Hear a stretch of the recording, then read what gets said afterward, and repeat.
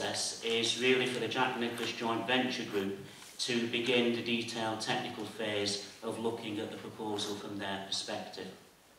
This will involve um, a lot of work in terms of ecology surveys, environmental surveys uh, and the like and those will take a period of approximately 12 to 14 months to complete uh, and they're due to start in, in around March, April of this year.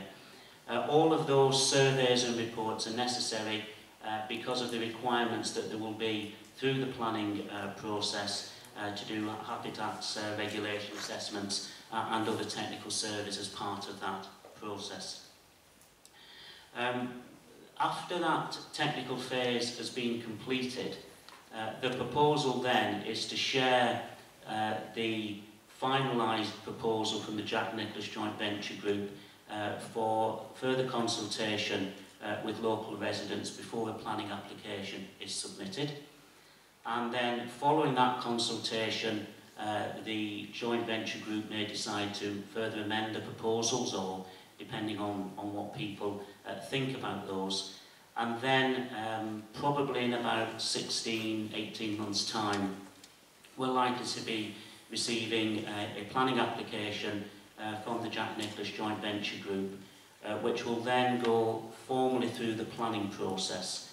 Uh, in that process, there will be formal statutory consultation, uh, which is a normal part of the process, and it'll probably take us about uh, three months to actually um, assess any planning application that we receive and report that then to the Council's Planning Committee, who will uh, take the decision uh, on that planning application uh, from the council's side. Uh, if the planning committee are minded to approve that planning application, then it will have to be referred to the Secretary of State because it's technically uh, what's known as a departure from the local land use plan um, from there. And then the Secretary of State would have to decide whether he's going to call in uh, that application or was happy with the decision that, um, that was to be made. Um, throughout the uh, next stage of the technical process, um, the Council uh, will be advised by the Merseyside Environmental Advisory Service. That's MEAS for short, uh, for those of you who know them and the work they do. They work for the local authorities across Merseyside and they are staffed by um, various ecologists and a whole range of other professionals who give us support on the habitats regulation assessment work that we have to do.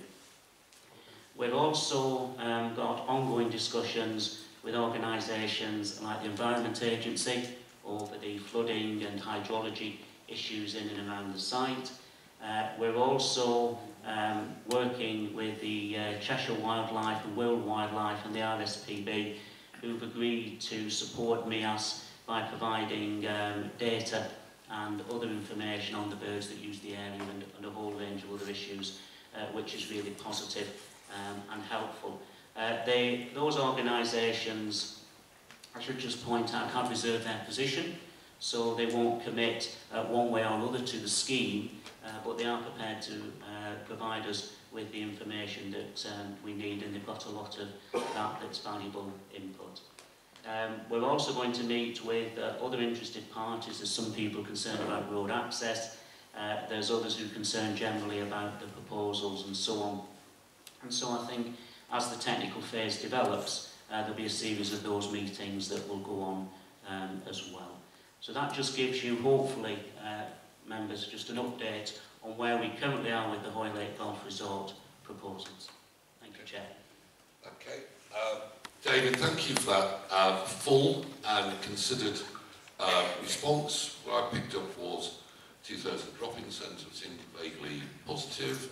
However, there are a lot, a lot of technical issues that need to be collected, considered, scrutinised uh, and thought about. Um, and then whatever whatever Wirral Council says and whatever um, Planning Committee says, there is still the, uh, the backstop there of the Secretary of State to make sure that everything is done appropriately and above board. So I think that's the takeaway that we, we need to from that. Okay, so thank you very much for that. Colleagues, has anyone got any question they particularly want to ask David? Just Gerry? a quick question, Jeff. Of course, Gerry. I don't even like it. I don't So like from what you're saying then, the, the, ne- the earliest possible time that the, it could start building would be in about, what, five years' time? Is that what you're saying? years for planning.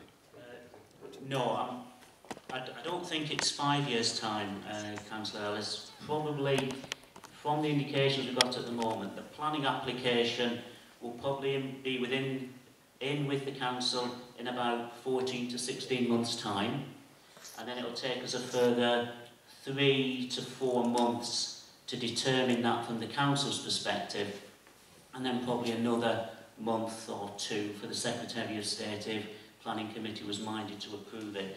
So that, roughly by my calculations, is about um, say, two years' time, maybe two years' time? More than that, Dave. years. Yeah, must, must not very good, is it? Yeah. And then it gets called in by the Secretary of State, so it's going to be another year or two. Okay, then, yeah, so you had your question, you had the answer, you differ to what the professionals think, and so we'll work out who's right or who's wrong. So thank you very much for that. Has anyone else got any questions arising on that? Again, um, you know, I don't want to appear like Lady Bountiful or anything, but I, I, I do want to thank the, people that are putting in the work to make sure that it is really technically correct and all the information is gathered and everyone has the opportunity to comment and scrutinise that, uh, that information. I think that's really important. So thank you very much for that. Um, right, the bit everyone's been waiting for, I'm sure, John certainly. Um, community question time. Um, so uh, I was hoping, I did promise Gerry actually, I'd, I'd try and be, get this back on track and be finished by nine. I don't think I'm going to, but we'll see, we'll see how we go. Um, but we'll try and put a limit on maybe quarter past nine perhaps, that's all right with everyone. So, we'll have a go at community question time. John, Please, hang on, if you... my name is John Hutchinson. My name is John Hutchinson. Can I just clarify, please, how many responses did you have? Everyone gets one correct. How many so- questions do you want? This morning, there were 476 responses on your website, not 600.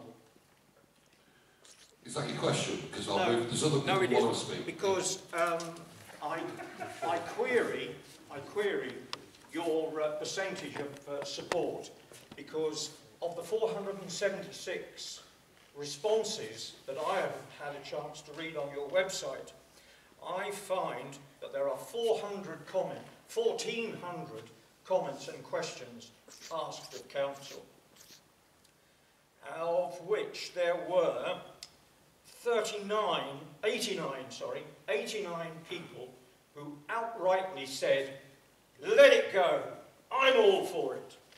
So the other 1,311 had some sort of reservation.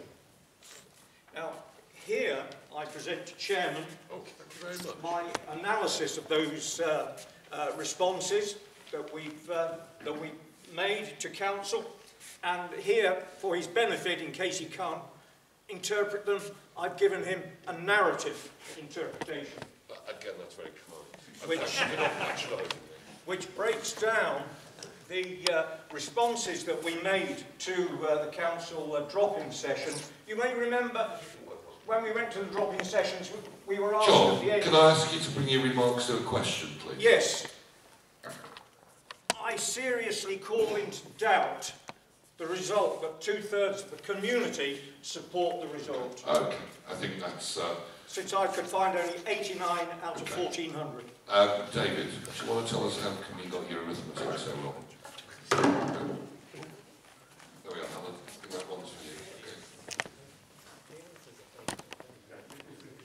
And also, of course, where are the other 200 questions and responses? Okay, I'll, I'll try and answer the, the question. Um, we, we did get just over 600 responses from the consultation drop-in sessions that we did and the extended period up until the 14th of December when we had the display uh, at uh, West Kirby Concourse. Um, what we did when we um, redacted personal information and we published the, the comments on our website, if you get a chance to look at those, the way that the questionnaire um, was, there was three options or views that we asked people for, whether they supported it, supported it with some concerns, or didn't support it at all and we got 600 responses to that. And the figures I gave you earlier, I, I do believe are accurate in terms of the analysis of, of, of those responses that we received. Uh, the comments that uh, John is just referring to, very briefly, all of these comments on here are from the comments boxes, so it's difficult to move them all back to the 600 because some people made 10 or 12 comments in, in one box. Indeed, they but we've pub yeah, we've published everything so that everybody can see it, so it's open and transparent. Thank you, Chair. Good, open and transparent we like. I'm just impressed that only eight people have called into question council's management skills. I know more than eight people who called into question There council's are there management skills. people This who- is, um, who said councillors were getting a kickback. oh, That's Can I, defamation. can I just ask one question on defamation. this golf resort? Oh, sorry. Can I just ask one question on, on the golf resort? If and when it gets built, are you going to use local labour? And when you do, and if you do use local labour, whatever labour you use and whatever firms you bring in as contractors to build this, are you going to ensure, unlike Liverpool City Council, are you going to ensure that those companies don't operate a blacklisting list? Well, I, and I'll pick that up because uh, um, first of all, we don't know if it's going to be built yet because of all that stuff that they've just been through about all the technical assessments and so on and so forth. So I think it's one step at a time and then we work out where we actually get to as, as we go as we go through what presumes. We'll be intending to get um, if the Jack Nicholas joint venture group who will build the golf resort, if it is approved, um, what we will do is um, we will work with them and try and ensure that the contractors that they do eventually employ, if it does go ahead of course, um, utilise to the maximum local labour, yes, for the benefit of the area. Yep. Lovely. Well done. Um, do you know what? Sorry, I did promise over here a little bit earlier on. So, um, yeah, go on, Steph. Sorry, Jeff, I did say I wasn't going to say anything. You did. And I, my question was actually the, the chap who did the presentation there. Who's gone? Yeah. Yeah, yeah. I wanted, I wanted to ask him, um, you know, we live, we live on Woodchurch. Yeah. And we have always said that we didn't feel that Woodchurch was appropriately placed in the constituency. And to me, I don't know, I think my other colleagues will agree with me, that just highlighted it further. Because there's nothing he presented there which relates anything to Woodchurch, really. So basically, I'd like to know why the councillors didn't say something about that. Do you not have an opinion on the fact that, you know, we might lose out now because there's things are happening on Woodchurch that are obviously not happening in other areas, and I think the youth, you lot should be speaking up. Well, I, I can assure you, we will be speaking up, and I know, Yeah, but you you're know, not, you're not our councillor, Jack, No. appreciate what you're saying. Never mind. You can't have everything, Steph. I, I can only do one word at a time. I, but I, I will be, to be absolutely fair to our colleagues in Upton, uh, I know that the three uh, councillors, ward councillors for Upton, do a fantastic job in speaking up for the area. I mean, I sit on panels and meetings and we talk about how we allocate resources and what we're trying to do with communities. And, you know, to spare their blushes, I know that those local councillors put a hell of a lot of work in for the area. So, um, so I think I think you're being a touch unfair, Steph, on that one. Um, yes, go on, Phil. And it's also worth saying that we don't set the boundaries for the constituency, so it, it's not really something that the, and I'm the Pensby Thingwall council, I'm, I'm just speaking on behalf of my colleagues, it's not something they could affect. So, I don't know what to say to you there, if you, if you want the boundaries changed, it wouldn't be the council who Uh, would. okay. To to be fair, Phil, this is the second presentation that we've had. We had one in Upton, which we argued the same point, it's proved totally that, you know, we were, we were in the wrong area, I'm sorry, and we argued the same then. And now it's just proved again. Well, I think my understanding, I don't know how right or wrong this is, but my understanding is that the constituency boundaries are to be looked at, and I think we've made a note here, so we'll make sure that those views are are given to the boundary commissioners when they uh, when they make their case.